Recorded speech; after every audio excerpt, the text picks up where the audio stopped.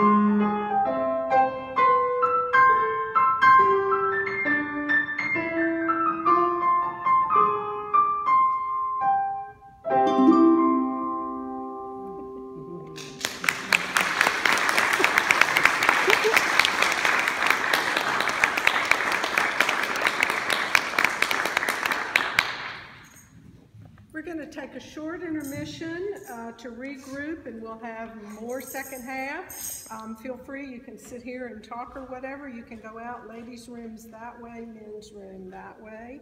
And we'll see you back here in about maybe five to seven minutes.